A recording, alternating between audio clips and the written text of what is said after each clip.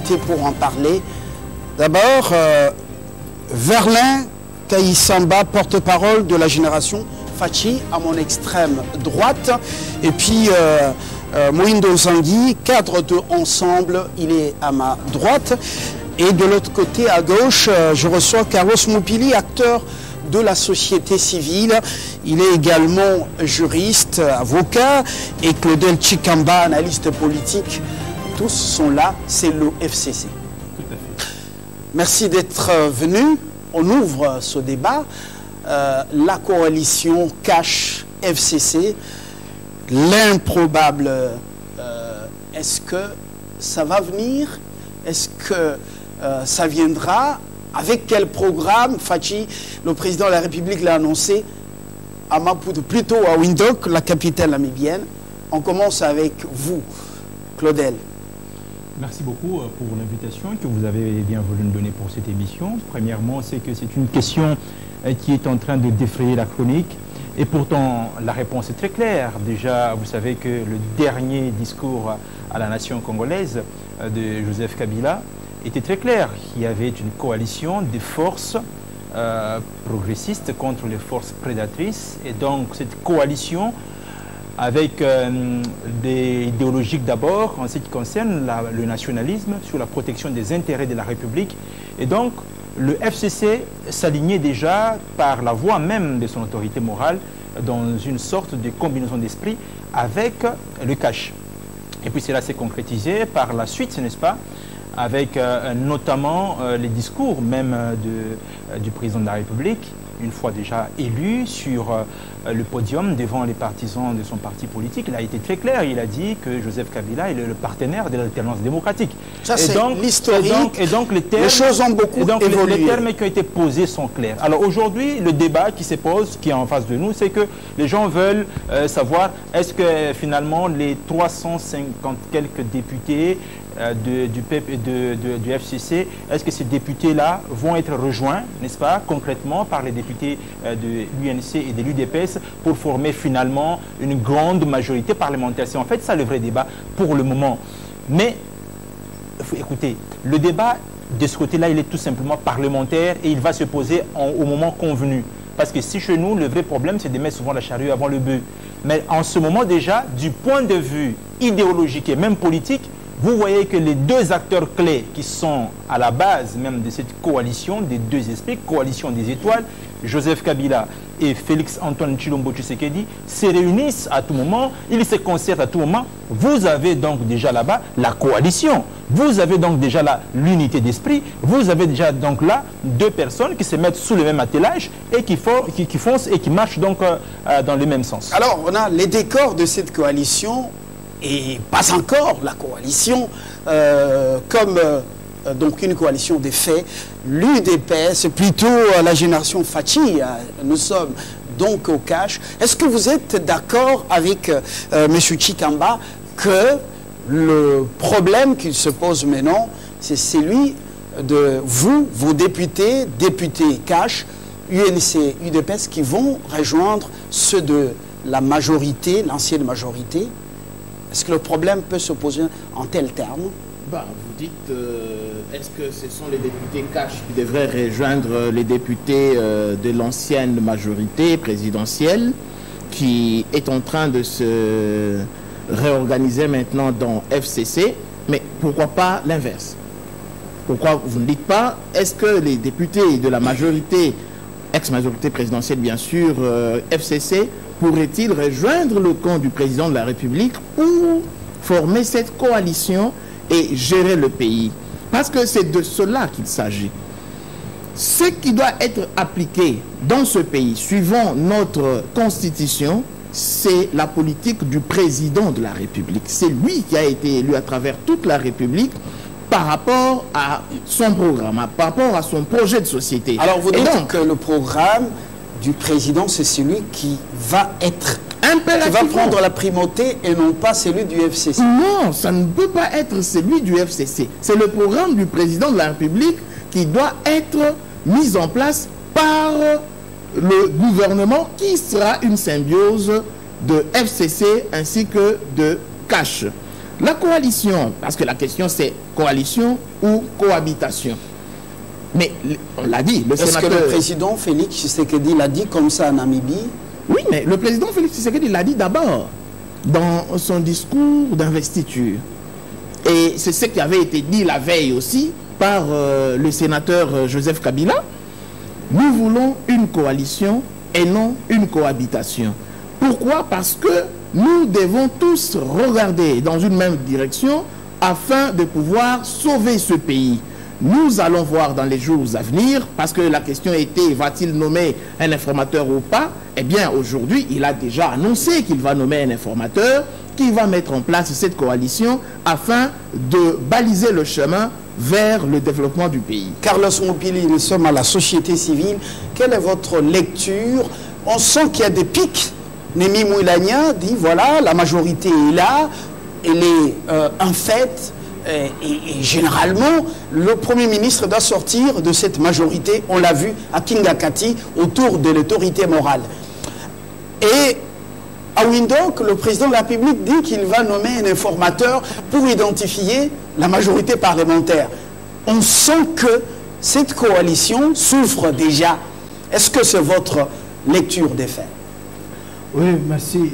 Je remercie d'abord pour l'invitation. Chez nous, euh, nous sommes en train de, de nous inquiéter.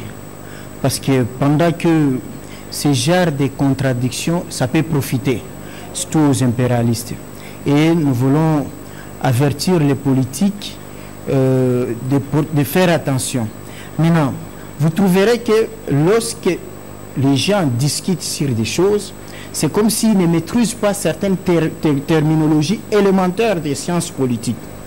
Lorsqu'on dit le président de la République n'est pas élu sur base d'un programme, mais plutôt sur base d'un projet de société. Qu'est-ce qu'un projet de société? Qu'est-ce qu'un programme politique?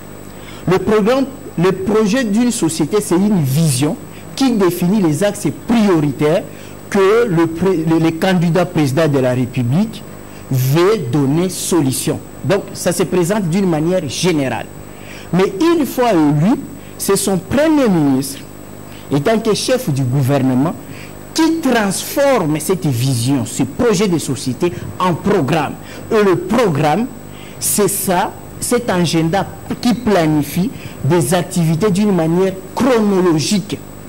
C'est ça. Donc, vous comprenez que c'est des terminologies et les gens doivent fournir les formes. Deuxième chose, euh, de notre côté, on parle, le président ne doit pas nommer un informateur parce qu'il y a déjà la majorité. Ok. Je vais me prononcer sur deux, manières. D'abord, sur la compréhension juridique des concepts et aussi je vais entrer dans l'histoire politique dans, ma fourchette de temps.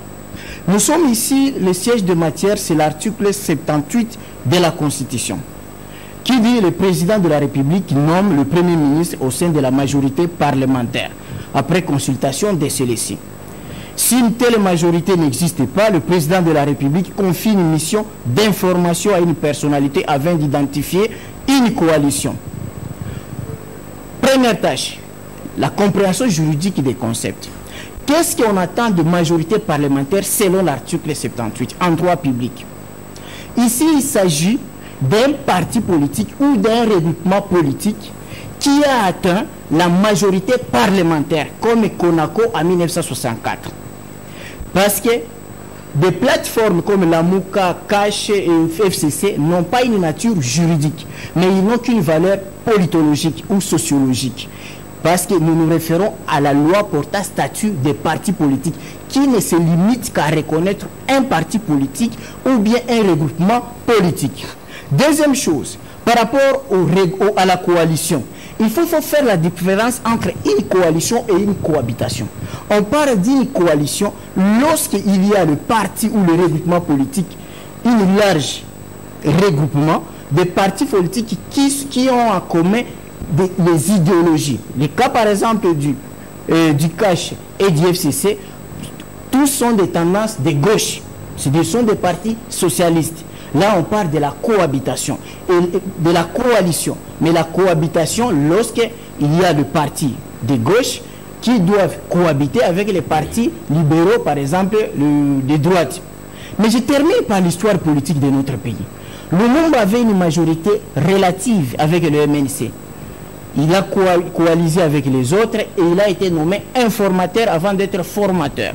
Nous sommes en 2006 avec AMP, PALU et IDEMO. Il y avait déjà sur le plat carte avec des accords qui avaient aussi des valeurs sociologiques comme le FCC aujourd'hui, mais Antoine Gizenga, paix son âme, a été nommé informateur avant d'être nommé formateur. Nous sommes en 2011. Il y avait aussi une majorité qui était aussi présentée d'une manière sociologique avec un accord.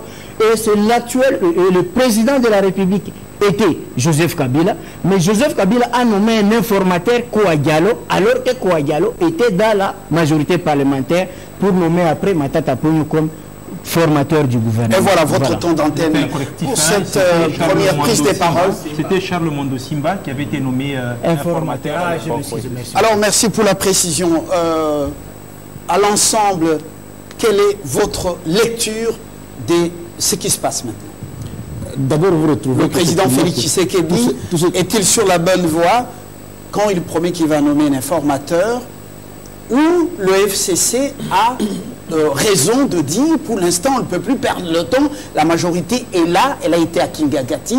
Il faut maintenant qu'on nomme un Premier ministre. Vous savez, la, difficulté qu'il y a maintenant, c'est tout ce que nous avons dénoncé depuis le début, qu'il y a eu un accord avant la proclamation des résultats, et cet accord les lie. En fait, qu'est-ce qui se passe? Le président Kabila, en fait, ce qui n'a pas été élu correctement, vous savez ce qui s'est passé.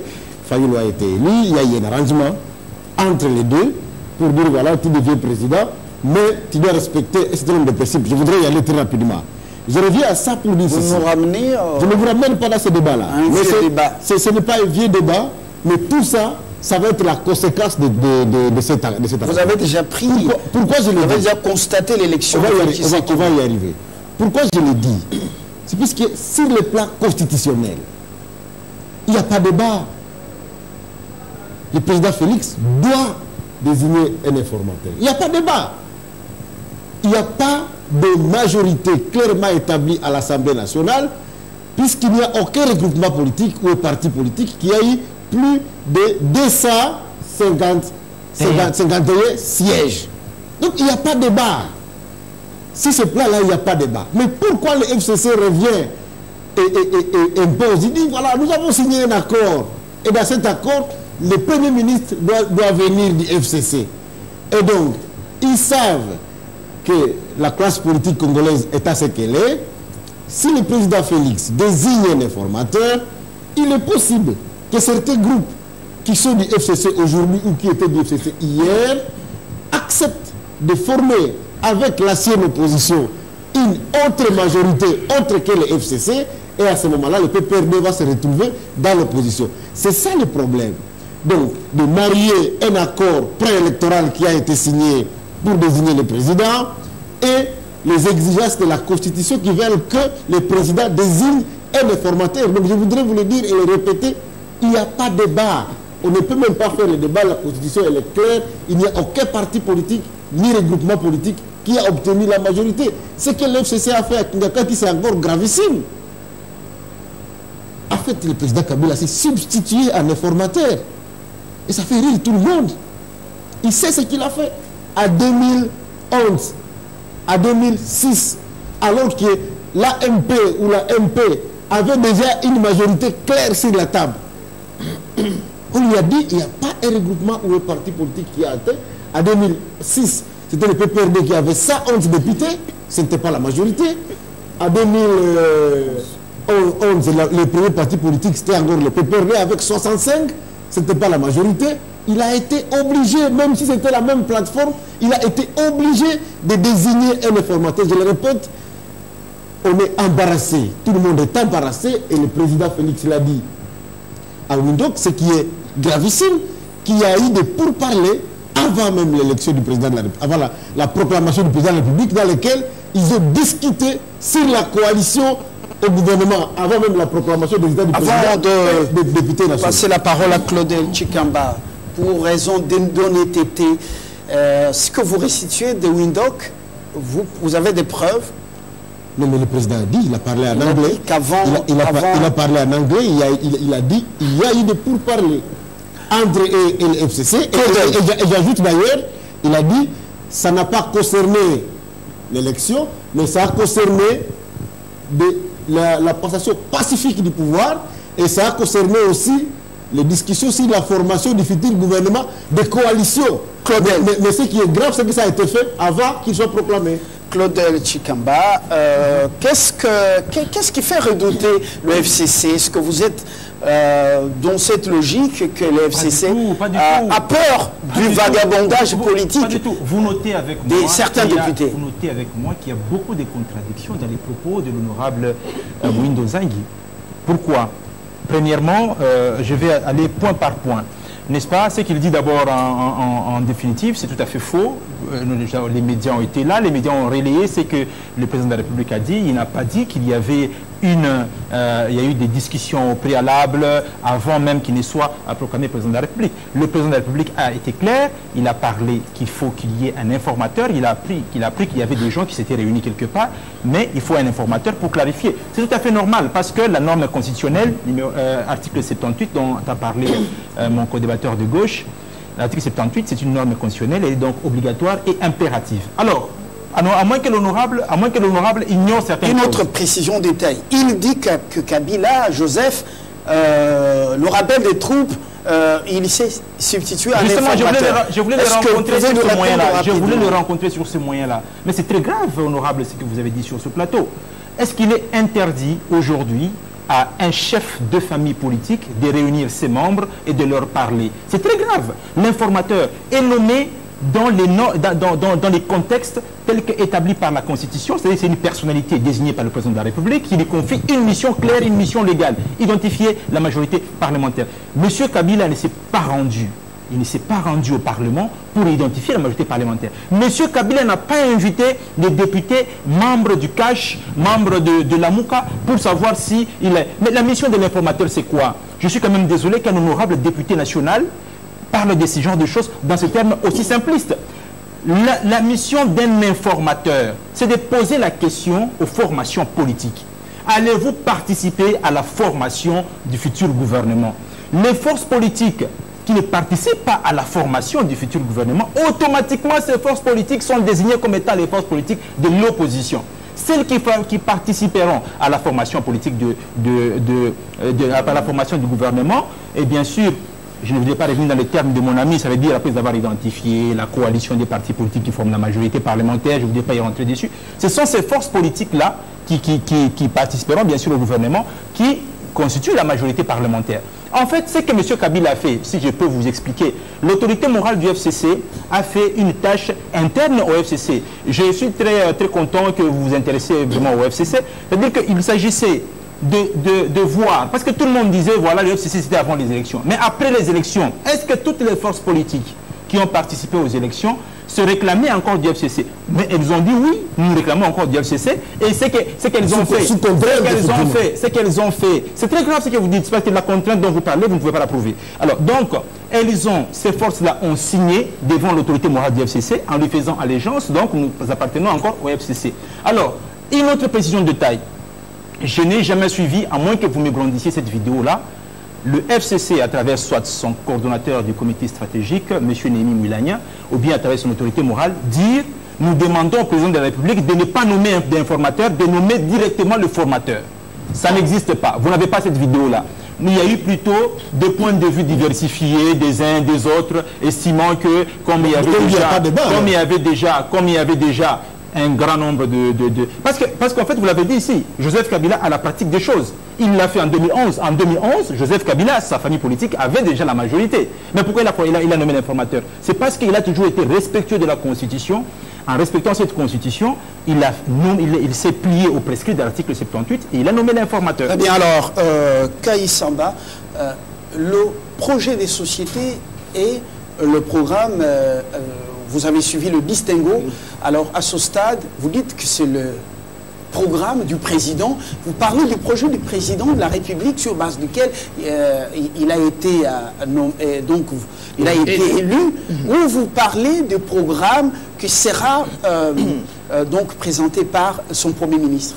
Bien, merci de me permettre à revenir sur cette question-là, parce que euh, on a semblé dire que ça n'a pas été maîtrisé. Non, écoutez, le projet de société du président de la République, celui qu'il a présenté au peuple congolais, pour que celui-ci puisse lui donner la majorité des suffrages, comme ça a été le cas, n'en déplaise euh, mon ami de gauche, c'est de ce projet de société-là que sortira le programme du gouvernement. C'est un peu comme la Constitution et les autres lois inférieures.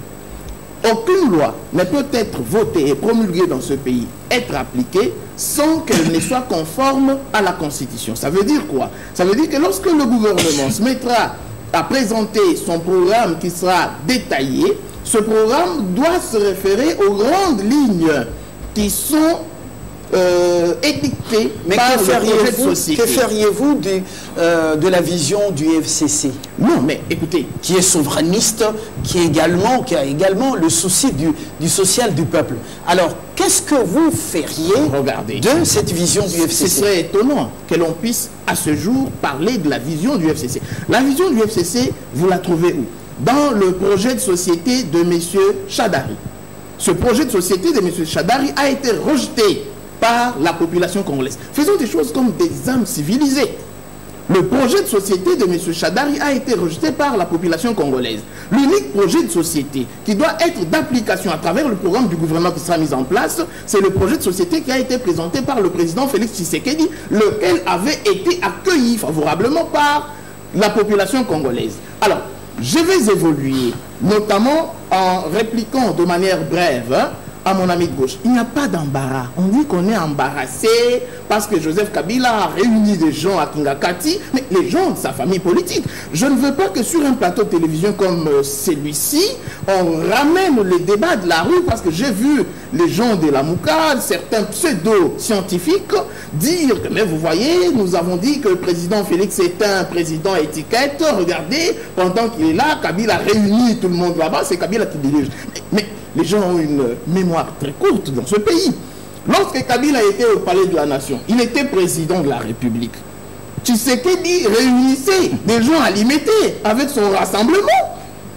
Est-ce qu'on avait dit que non, voilà, Kabila est un président étiquette pendant qu'il est là? Tshisekedi réunit les gens du rassemblement euh, à l'imiter ils se sont réunis à Genève. Nous avons vu l'ambassade de la Belgique donner des visas ici aux gens même qui n'avaient pas de passeport. Il suffisait de présenter l'invitation de Tshisekedi. On aimait le visa sur euh, le, le- le- le papier.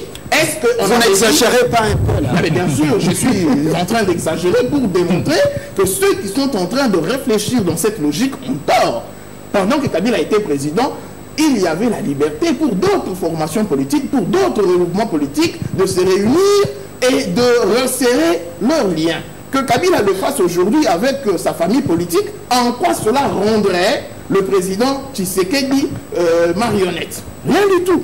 Donc, que nos amis d'ensemble, qui sont d'ailleurs avec nous déjà, parce que euh, ils viennent de dire qu'ils reconnaissent le président, ils vont l'accompagner dans les actions qui iront dans le sens de l'intérêt de la nation, cessent de penser que le président Félix est dans un embarras. Il n'y a pas d'embarras d'ailleurs, il l'a dit, dans la logique des autres. Sur ce même plateau, et je termine par là, sur ce même plateau, j'avais dit qu'il n'y avait pas de majorité parlementaire dans, ce même, euh, dans cette même émission. Parce que le FCC n'a pas été présenté à la CENI comme étant une plateforme qui avait aligné des députés.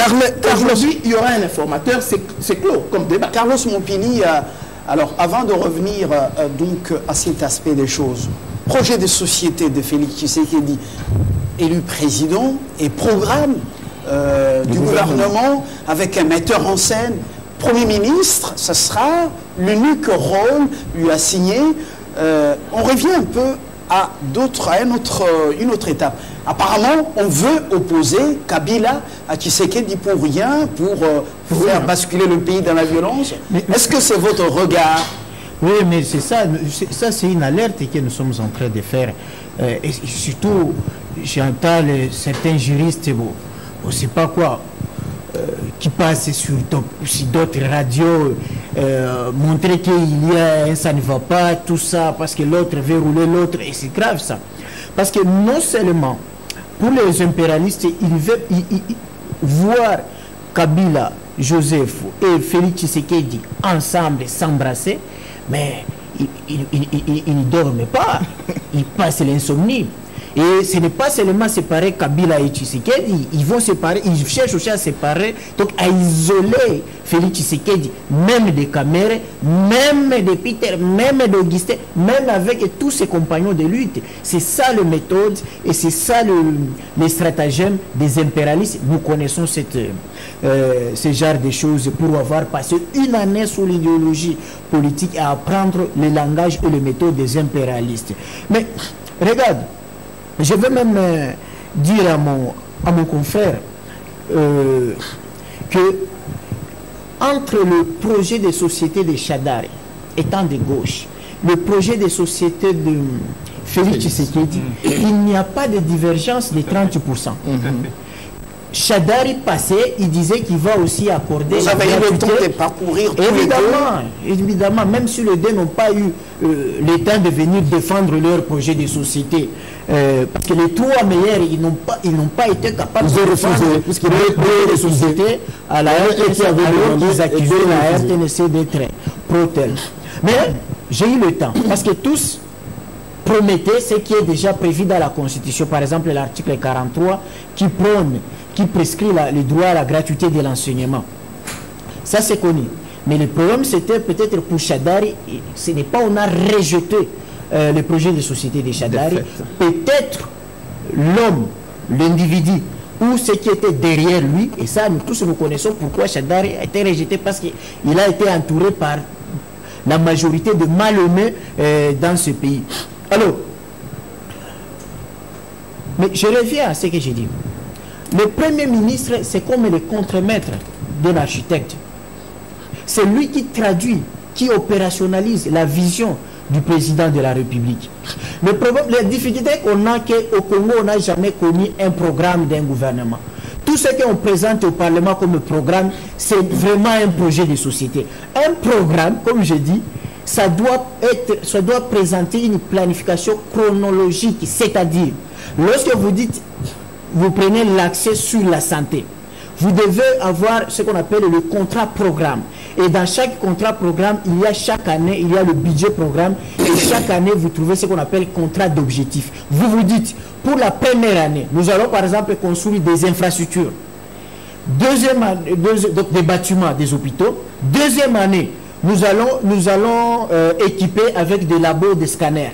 Troisième année, nous envoyons les enfants des médecins faire la spécialisation. Voilà un programme. C'est-à-dire, vous, vous présentez une photocopie, euh, une photographie des activités que vous allez faire. Mais malheureusement, dans notre pays, les gens viennent, ils présentent comme ça, euh, d'une manière large. Très bien alors, vous, vous avez une objection par rapport à ce qu'il développe.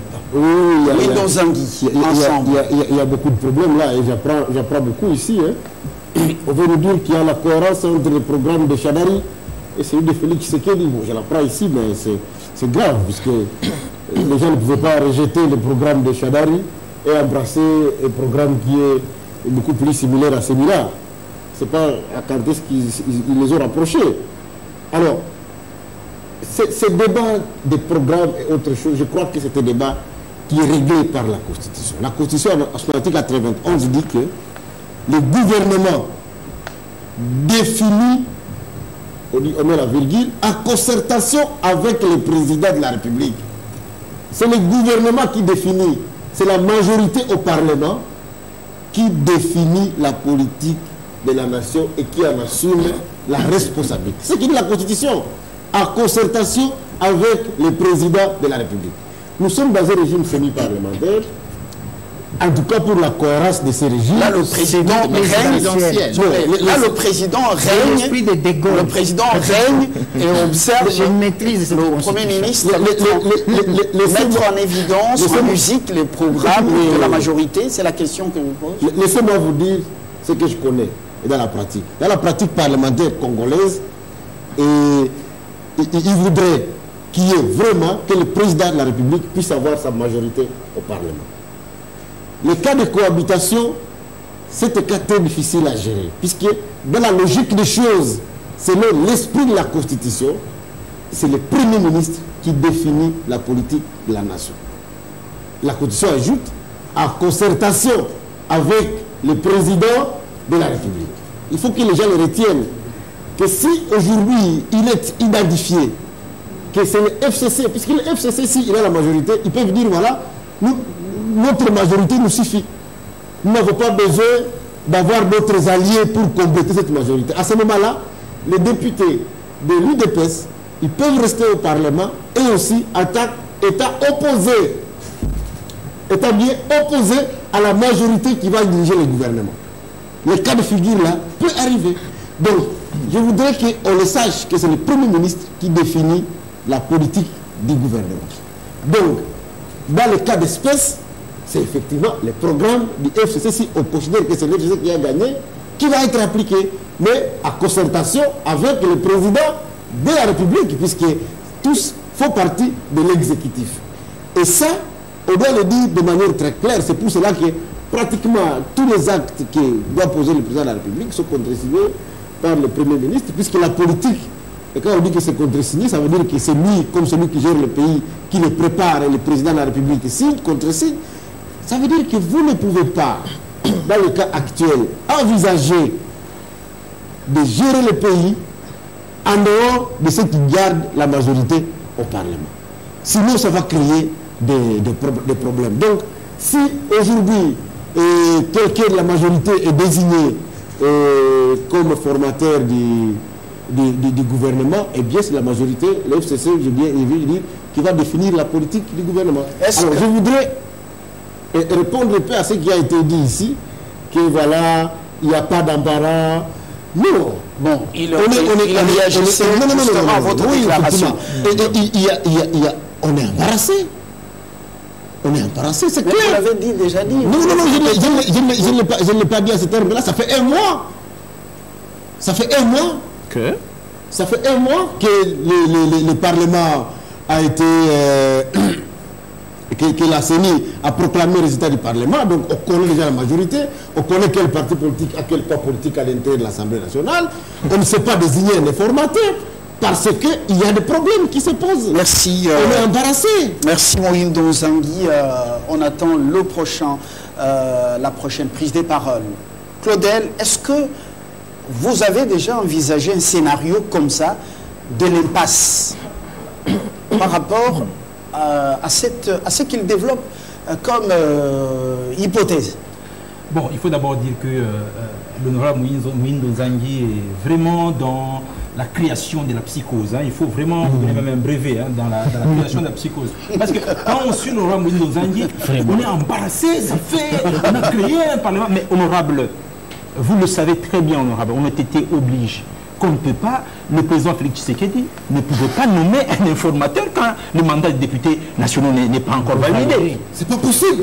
On n'a pas encore validé le mandat, donc techniquement parlant. À moins, que, à moins que vous me disiez ici, à moins que vous me disiez ici que les, les- les gens qui ont été euh, proclamés simplement par la CENI, mandat non validé, sont déjà députés nationaux. C'est pas possible. Donc, Puisque donc, nous- donc, nous, laissez-moi- nous avons une jurisprudence. S'il vous plaît, s'il Les vous plaît. gouvernements qui sont S'il vous avant, avant, avant vous- celui-ci, s'il vous plaît. il y a été, avant la proclamation vous constitutionnelle. Que- que- Qu'est-ce qu'on veut dire Non, nous ne parlons pas, je ne parle pas de la proclamation. Cour validation de. Les sont. S'il vous plaît, honorable, un peu de tolérance. C'est comme ça l'Assemblée nationale. je vous tolère, je tolère. Voilà, je comprends pourquoi il y a beaucoup de bruit. Alors, nous disons ceci, honorable, s'il vous plaît, si vous permettez, que c'est vous qui essayez de créer la psychose dans les têtes de ceux qui nous suivent à la maison. Il y a juste une question de méthodologie. L'Assemblée nationale venait d'être en session extraordinaire, est encore en session extraordinaire d'ailleurs, parce qu'elle doit maintenant valider le règlement de l'intérieur. Il fallait valider les mandats des députés, des députés nationaux. Il fallait que ceux qui allaient opter pour la- la- l'Assemblée nationale ou bien le gouvernement le fassent. Maintenant, on sait qui est député national aujourd'hui dans, ce pays, n'est-ce pas? Il n'y a, a plus de problème, il n'y a rien quant à ce. Mais je voudrais beaucoup plus m'attarder sur des choses, parce que dans votre famille politique, il y a beaucoup de, de contradictions, notamment le dernier communiqué que vous avez publié, parce que ces contradictions, vous les amenez même sur ce plateau. Vous abordez déjà euh, la deuxième thématique. Je, je crois que je vais, je vais terminer par dire Précision qu'il n'y a importante. pas, précision n'y a importante. pas d'impasse. Pour identifier la majorité au Parlement, faudra-t-il attendre le bureau définitif Bien sûr, c'est ce que j'allais dire. on peut le faire avant On peut le faire après. Je, je- je- je voudrais, je, voudrais, je voudrais dire ici. Je vais poser une question Justement, précise. je voudrais répondre à cette question en disant très clairement ceci que pour identifier la majorité parlementaire au, euh, au niveau du, du Parlement, il faut non seulement attendre le bureau définitif, il faut d'abord, premièrement, que le mandat des députés soit validé. Deuxièmement, on met en place le bureau définitif. Et maintenant, et maintenant, maintenant, cette majorité sera identifiée. Pourquoi je le dis ainsi? Vous savez qu'honorable, c'est pourquoi vous mettez la charrue avant les bœufs. Quand vous lisez la loi portant statut de l'opposition en République démocratique du Congo, est-ce que vous savez que dans votre communiqué, je, vais, je crois que je, peux mettre la charrue avant les bœufs, permettez, vous avez dit que vous, vous avez la majorité, vous êtes de l'opposition, vous êtes autoproclamé de l'opposition, et que même dans les assemblées provinciales, vous avez déjà la, euh, les 97, euh, 97 députés provinciaux, et qu'automatiquement vous êtes la première force de l'opposition, alors que si vous lisez cette loi-là, que vous d'ailleurs, je crois, vous aviez participé à, à- à l'élaboration et même à l'adoption de cette loi, il est clairement indiqué dans la loi que les- vous deviez vous déclarer auprès du bureau, n'est-ce pas Et pas du bureau provisoire. Auprès du bureau définitif des assemblées provinciales, Non, non. vous déclarez auprès des bureaux, des bureaux respectifs, voilà le terme, respectifs des Voilà. assemblées provinciales. Voilà. Et quand vous vous déclarez, cette force-là va se déclarer. C'est à ce, moment-là qu'on va la prendre comme une force de l'opposition. L'exercice au Parlement. comment- Mais comment est-ce que que, vous- mais comment est-ce que vous allez vous déclarer de cette force-là sans qu'il y ait un formateur Parce que c'est l'informateur qui vient, qui dit, qui, qui, qui sépare les, les- les- les forces. Je, je- Donc, il y a je une voudrais- confusion. c'est- il y a- il y a une précision de taille au Parlement. Déjà aujourd'hui, Quelques secondes. Rapidement, la question on aborde de- la deuxième thématique. La question a déjà été posée. Par Parce qui que déjà, non, à l'Assemblée nationale. C'est le bureau provisoire de l'Assemblée nationale qui pose les questions à tous les regroupements politiques dans le cadre desquels les gens ont été élus, de s'aligner soit comme opposition, soit comme euh, les gens qui ont participé au gouvernement. mais- mais- Et, mais- et l'exercice est déjà fait Mais voyez la à l'Assemblée Mais la nationale. confusion. Parce que la loi, c'est pas, la pas- loi, c'est on pas peut le la peut définitif la qui loi, le fait. On peut lire la loi alors pour... pour Mais lisez. on peut Ce lire- n'est pas important. Non, non, non, non, non, lis- lisons la loi s'il vous plaît. Alors, la- euh, comme on dit, les Non, non. évidents, devant les évidences, on s'incline. Vous pouvez lire la loi assez la rapidement. Voici, vous, voulez- vous dites que les gens vont se déclarer de l'opposition, alors que regardez ce que la loi dit clairement. Article 2 de cette loi. Oui. C'est quelle loi? La loi portant euh, euh, au statut de l'opposition, la loi numéro 07008 du 4 décembre. La loi est claire. Au terme de la présente loi, il faut entendre par opposition politique le parti politique qui ne participe pas à l'exécu- à l'exécutif ou ne soutienne pas le programme de l'exécutif. Vous n'avez pas cet exécutif. en Par fait. exemple, la déclaration, l'article que vous cherchez, c'est la déclaration, vous dites que c'est le bureau euh, définitif. Moi, je vous Non, dis que cette déclaration, elle s'est faite même au bureau provisoire. Merci. Mais euh, au bureau de l'opposition face à quel programme? Parce qu'il n'y a pas encore de programme. Merci Il n'y a pas encore de programme. Merci Moïndo Nzangui. Alors, euh, avec vous, euh, Génération Fachi, nous abordons la deuxième thématique, la MOCA. Euh, la et son double jeu euh, en l'ensemble, distraction ou tout simplement euh, confusion, des contradictions en contradictions. pure distraction. Pourquoi distraction? Parce que au sein même de la Mouka, les violons ne s'accordent plus. Regardez. Les vrais leaders de la Mouka, parce qu'il ne faut pas oublier que Fayoulou n'a été que le porte-parole de la Mouka.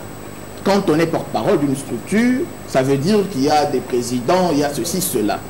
Et Fayoulou avait quelle mission? Il avait comme mission de faire échouer l'usage de la machine à voter, de faire auditer le fichier électoral et empêcher à ce que les élections se tiennent dans les conditions qui existaient en son temps, organiser une sorte de transition, permettre à Katumbi de revenir, permettre à Bemba d'être euh, lavé afin d'être reçu à l'élection présidentielle. Mais regardez, Fayoulou a failli à sa mission. C'est ce que les gens ne savent pas. Fayoulou n'a réussi aucune démission lui confiée par le leader de la Mouka. Mais qu'est-ce qu'il fait maintenant? Il profite de leur aura. Il profite de leur base pour faire des tournées à travers la République, asseoir sa base dans la perspective d'avenir. Et ceux-là, Katumbi et Bemba, voyant Fayoulou être en train de leur damer le pion sur le terrain, disent non, non, non, non, arrêtons-nous, laissons ce monsieur revenir. Quand ils vous disent que nous devons rentrer pour évaluer, j'ai appris que Fayoulou doit aller en Europe, les rejoindre afin d'évaluer la marche de la Mouka et donner une autre orientation, ça veut dire on va lui demander des comptes et lui dire, monsieur, tu as failli à ta mission, laisse-nous maintenant reprendre nos fauteuils et nos bases. Merci Kaïsamba. Alors, Carlos Mopili, euh, nous quittons la Mouka pour euh, Ensemble. Oui, des contradictions aussi au sein de Ensemble. Le doyen Gabriel Plomboudi ne fera pas l'opposition au pouvoir. C'est l'ancien de l'UDPS. Katumbi qui doit avoir son passeport euh, si nos sources sont crédibles euh, aujourd'hui. Et puis, euh, voilà, qu'est-ce qui se passe concrètement? Nous sommes dans une sorte de distraction ou dans une confusion. Les deux. Mais laisse-moi un peu revenir un peu en arrière.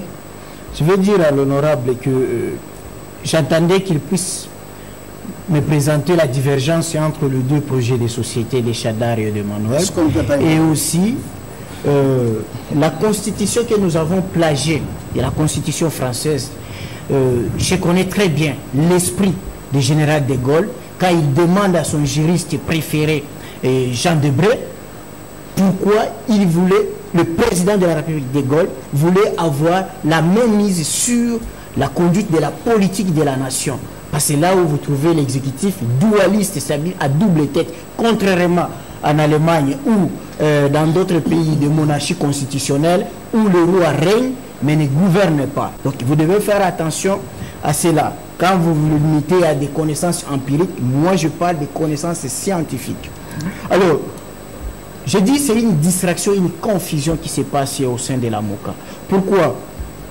Parce que ce sont des gens qui se sont regroupés. Euh, D'abord, c'est un regroupement de, des aiguilles de mécontents.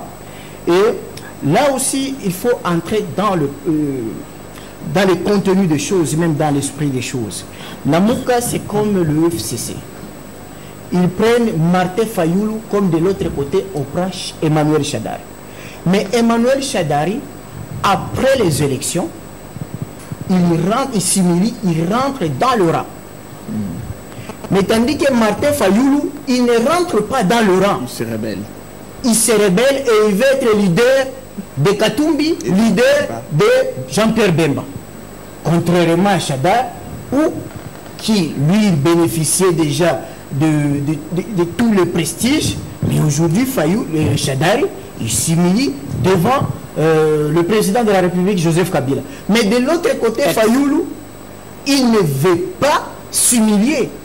Il continue à faire ce que euh, mon, frère est en train de dire, vouloir récupérer le succès des autres, alors qu'en politique, on ne se fait pas cadeau. Maintenant, le problème, c'est que un monsieur comme Tchungu Akata, quelqu'un qui a l'emprise, parce qu'il faut reconnaître que dans ce pays, il n'y avait que trois leaders. Le fait Gizenga, qui était un leader qui était aimé sans donner l'argent. Il y avait Etienne Tshisekedi qui était leader sans donner l'argent. Et au Katanga, il y avait Kyungu Wakumwanza. Maintenant, Kyungu Wakumwanza, être maintenant subalterne de Martin Fayoulou, c'est non-sens. Ça ne passe pas. Alors, au niveau aussi de l'ensemble, il faut savoir que le dénominateur commun, c'était l'argent De Katumbi, oui. l'argent de Katumbi. Donc, c'est celui qui a étudié, qui a lu Machiavel euh, dans son livre Prince, il connaît que le, prestige ou euh, le fondement du pouvoir de Katumbi, c'est la bourgeoisie, c'est l'argent. Tant que l'argent ne sera pas là, tant que ses collaborateurs n'auront pas besoin de son argent, ce fondement du pouvoir peut toujours tomber. Alors, député honoraire Moïndo Zangui, euh, vous avez une réaction assez rapidement. Euh, voilà, un communiqué lu par un poids lourd de votre coalition, Pierre Lumbi. Je suis encore, Le communiqué- je suis, je suis encore député, ne m'appelez pas honoraire. Voilà. Je voudrais y Le aller. communiqué- je voudrais y aller. Le communiqué est contredit par Kalombo. Et ensuite, c'est Baba qui s'oppose à cette vision des choses. Katumbi reste un peu euh, voilà, dubitatif, euh, finalement, vous amenez le peuple congolais à quoi? Non, non, je voudrais d'abord préciser ici que le communiqué de l'Assemblée, c'est un communiqué qui a été adopté par tout le monde. Le président, le vice-président Lumbi l'a signé, puisque c'est lui qui représente euh, Moïse Katumbi ici, en tant que son vice-président dans notre coalition ensemble. C'est un communiqué qui est assumé par tout le monde. Si vous le lisez, vous allez trouver que un communiqué très sage, c'est un communiqué qui, est- qui a été apprécié par tout le monde parce qu'il contient des éléments qu'il faut avancer le débat dans les pays. Je voudrais maintenant venir, euh, à venir aux soi-disant dissensions qu'il y a dedans. Non. Votre communiqué reconnaît Il y a, il y a Félix pas, il y a Tshisekedi pas- comme je, vais, je vais avoir le contenu. Il n'y a pas eu de dissation. Tchungo Akumwanza était convié aussi. Il a participé à toutes les tractations. Nous venons de faire deux semaines en train de, de- de- d'en parler. Il n'a pas été d'accord avec seul élément dans ce communiqué, le fait qu'on s'aligne comme opposition. Nous aurait souhaité qu'on ne s'aligne pas comme opposition parce que nous avons travaillé ensemble avec Félix pendant longtemps, parce qu'on doit l'aider à se débarrasser de, cette de- de- de- cet accord avec Kabila. Lui croit Il l'a pas dit. Voilà, moi je te dis maintenant ce qu'il Honnêtement, il, croit, pas dit. il croit que nous devons avancer et participer à ce gouvernement, mais la majorité des membres ont dit on ne participe pas. Il a pris sa position. D'ailleurs, ce qui est dans notre règlement intérieur de l'Assemblée, il y a la clause de conscience, la clause de liberté qui permet à tout le monde, lorsque vous avez exprimé à l'interne un désaccord, vous êtes autorisé de pouvoir l'exprimer, même à l'externe. Donc, il n'y a pas de problème. Vous avez vu que euh, Lumbi, le Lutundula et le- tous les autres qui avaient fait déclaration à Solo, tous se retrouvés ensemble et ils ont fait ce communiqué ensemble. Donc, je voudrais que vous reteniez ça. La deuxième chose, vous dites qu'il y a mon ami de la société civile, qui en principe n'est pas même pas société civile, il est plus que PPRD. Il dit que voilà, euh, le, le président Fayoum n'est pas rentré dans les rangs. Non, je crois qu'il faut, il faut faire la part des choses. Moi, je suis le coordinateur de l'AMUCA au Nord Kivu. Après les élections, le président Fayoulou devait remercier les électeurs puisqu'il a été massivement élu. Il devait aussi aller communier avec la population de Beni Boutembo qui avait été exclue des élections pour l'empêcher lui d'être élu président de la République. Alors, moi je suis de ensemble. Moïse Katumbi m'a demandé d'organiser tous ces meetings. C'est moi qui ai organisé. Si vous voyez les images, vous allez me voir en train de- de- d'interpréter. Et tous ces meetings qu'on a fait à Butembo, à Beni et à Goma, c'est sur ordre de Moïse Katumbi qu'on est allé les faire. Donc ne vous en pas, tous ceux qui racontent du n'importe quoi dans les médias. Moïse Katumbi est d'accord avec la tournée de vérité des îles lancée par Martin Fayoulou. À ce stade ici, les membres de l'Assemblée ont dit que voilà, le débat sur la vérité des, des- des îles, on ne va pas continuer avec ce débat indéfiniment. Il faut qu'on réoriente la lutte dans un débat sur la restauration d'un état de droit. Ce qui est écrit dans le communiqué qui a Avec été comme fait. leader Non, mais il n'y a pas de problème. S'il si, n'est pas de leadership à- au niveau de, de- de la MOUCA, ils ont dit que les sociétés de la MOUCA, ceux qui ont créé la MOUCA, doivent se réunir pour voir les nouvelles orientations qu'ils vont donner à la MOUCA. Et c'est clair après tout ce qui s'est passé, le processus électoral. Alors Moïse Katumbi, Alors, à je- lui- je à lui- voudrais, lui- Moïse, Moïse Katumbi doit entrer en possession de son passeport. Et puis Jean-Pierre Bemba, peut-être éventuellement pourrait venir. Alors les béquilles qu'ils ont prêtées à Fayoulou, euh, ils sont en droit de les récupérer. Est-ce que vous voyez Fayoulou avec un avenir politique dans ce pays? Non, mais Fa- Fayoulou a été élu par 62% des Congolais. Vous n'allez pas l'effacer comme ça de mémoire des Congolais. Il a été élu dans 20 provinces, si les 26 provinces de la République. Il y a aujourd'hui la majorité des Congolais qui se reconnaissent à lui comme leur président légitime. Vous n'allez pas de revers de main les jeter à la poubelle. Ne vous en faites pas.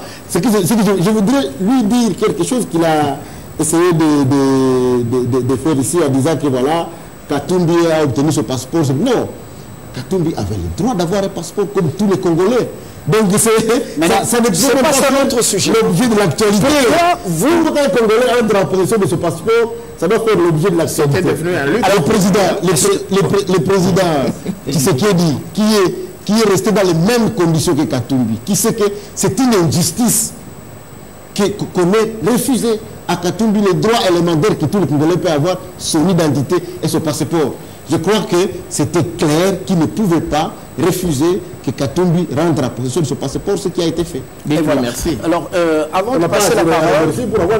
Vous, vous prenez votre carte votre, votre identité, vous devez remercier quelqu'un. Mais les Congolais, on dit à quoi finalement. Pour avoir le passeport, je dois remercier quelqu'un. Zangui, alors euh, avant de passer la parole à Claudel, est-ce que vous ne vous rendez pas compte que la Mouka et ensemble, euh, plutôt la Mouka, c'est comme un navire qui a déjà pris l'eau et, euh, et n'attend que voilà ce, ce naufrage. Na- déplaise à ceux qui le disent, la Moukassa a été une coalition électorale. Comme Cash, comme FCC. Et attendez qu'on nomme les formateurs ici, vous allez voir FCC Et voilà. faire aussi les éclats. Mais je vous dis que tous les prophètes de malheur doivent savoir que la Mouka va résister à ces histoires ici. C'est vrai que pendant ce mandat, tout le monde va rentrer dans sa plateforme, ce qui est normal. Claudel. Mais- mais- mais- merci pour la parole. Euh, Je crois que vous êtes déjà vous-même un prophète de malheur parce que vous venez de dire ici que dès qu'on va nommer l'informateur, le FCC va partir en éclat. Mais euh, vous n'avez pas d'éléments probants. C'est juste encore des prémonitions comme euh, vous savez le faire au niveau de la MOUCA. D'ailleurs, aujourd'hui, vous venez de nous dire sur ce plateau qu'il n'y a pas de problème, mais il y a un problème. Au moment où nous tournons cette émission, à moins que vous n'ayez pas lu l'actualité, Antoine Gabriel Kimwakumanza vient d'annoncer le retrait de l'UNAFEC, son parti politique de la MOUCA. Il vient de quitter carrément la plateforme la MOUCA. Parce que, en fait, votre communiqué, qui été euh, lu par euh, le vice-président Pierre Lumbi, est rempli de beaucoup de contradictions.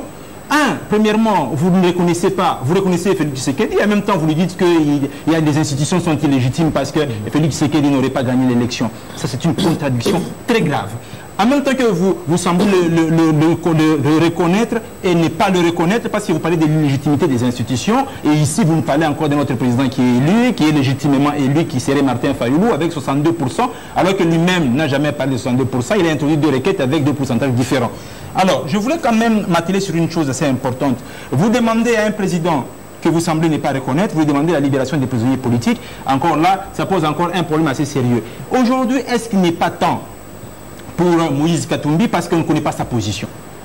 Antoine Gabriel Kimwakumanza dit j'ai parlé avec Moïse Katumbi, il est prêt à accueillir Félix Tshisekedi à Lubumbashi et, finalement Antoine Gabriel Kimwakumanza se, se met dans une sorte de balbutiement et puis finalement aujourd'hui il dit ils auront carrément le contact avec vous. Donc Kimwakumanza comme il a dit c'est l'un l'une des grandes figures dans ce pays, il n'est plus avec vous. Aujourd'hui moi je pourrais plutôt lancer une invitation à votre plateforme ensemble pour le changement, à se remettre en cause et à se remettre en question. Merci. Parce que non seulement que vous n'êtes pas la première force politique de l'opposition, et encore qu'il faut suivre le procédé qui est dans la loi portant les statuts de l'opposition, le MLC, aujourd'hui monté au créneau, est en train de dénier à Ensemble, d'autant plus qu'Ensemble n'a pas de personnalité juridique. Il y a plutôt des partis politiques ou des regroupements politiques qui sont en nous dans le Parlement. Merci Claudel. Verlin, vous clôturez. Oui, je clôture en disant ceci au président de la République, Félix Antoine Tshisekedi.